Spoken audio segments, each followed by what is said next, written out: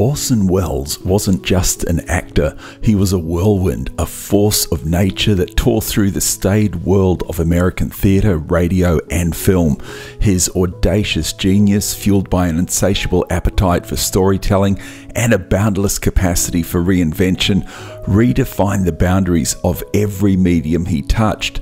From the radio hoax that sent America into a panic to the revolutionary camera work of Citizen Kane, Welles's life was a tapestry woven from brilliance, controversy, and an unyielding pursuit of artistic truth.